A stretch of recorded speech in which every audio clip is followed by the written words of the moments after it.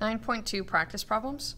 The reaction between sulfur dioxide and oxygen is represented in the chem- chemical equation above. The table provides the approximate abs- abs- absolute entropies for oxygen and sulfur trioxide. Which of the following mathematical expressions can be used to correctly uh, uh, calculate uh, the absolute entropy for sulfur dioxide? So we're going to be using the equation that the uh, uh, our delta entropy is going to be equal to the sum of the entropies for our products minus the sum of our entropies for our reactants. And we know that our delta S is equal to negative 187. And our product for uh, this reaction is the sulfur uh, trioxide here, and we have two of them. So 2 times uh, 257 minus uh, the uh, oxygen S value, which is 205, and then also minus our uh, our S value for the sulfur triox, uh, sorry, dioxide. And then since we do have the uh, coefficient of 2 here, it's going to be 2s for the uh, sulfur dioxide. Now, um, since this is negative, we're basically going to want to uh, flip this here. So we're going to be moving uh, the sulfur uh, dioxide value over here and the 187 over here.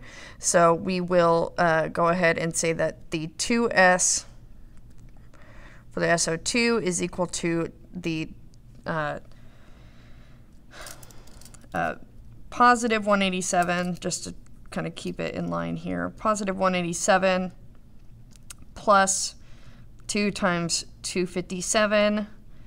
And then um, we are still dealing with negative 205 since that value did not move.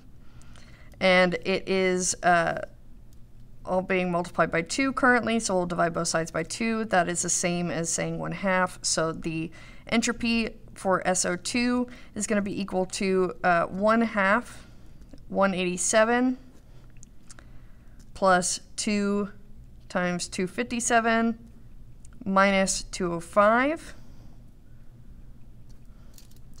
And that matches option choice C. So that is going to be my answer choice. The oxidation for phosphorus trichloride is represented by the equation above. The table provides the approximate values for the absolute molar entropies for the substances. Based off of the information given, what is the approximate delta S for the reaction? So again, we're going to be using that uh, the delta S is going to be equal to the sum of my uh, entropies for my products minus the sum of my entropies for my reactants.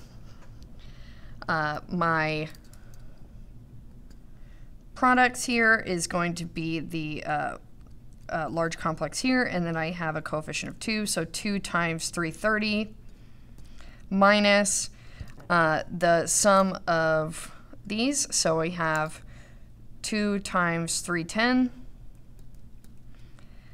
and that plus uh, just 210, and we'll go ahead and plug that into the calculator. So 2 times 330, 660.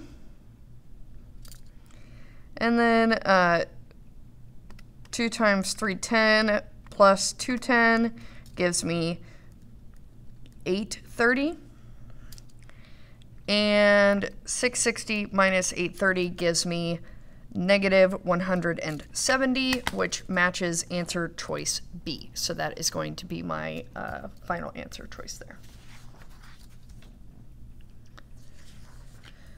In the reaction between uh, silver nitrate and calcium chloride is represented in the equation above, and the table provides the appro uh, approximate entropy values for the reactants and products, which of the following is the approximate delta S for the reaction. So again, we have that delta S is going to be equal to the sum of the entropies for our products minus the sum of our entropies for our reactants. And um, we will just need to be careful about all of the coefficients there. So we're going to have um, our products here be uh, 2 times the value for silver chloride, which is 96, plus uh, just one of the calcium nitrate, so 240, minus the uh, 2 times silver nitrate, so 2 times 220, and minus the calcium chloride, which is just 60. So 2 times 96 plus 240 gave me a value of 432 for the entropies for my products minus uh, 2 times 220 plus 60 gave me 500 for my entropies for my reactants. And then 432 minus 500 gave me negative 68, which is answer choice A. So that is the answer choice that I would select. Use the following information from the table above to calculate the delta S value for the reaction at 298 Kelvin. This is basically the exact same thing that we've done in the previous two problems. So again, delta S is going to be the sum of the entropies for our reactants minus the sum of our entropies for our products. Our reactants are the nitrogen monoxide. I have two of them, so 2 times uh, 211.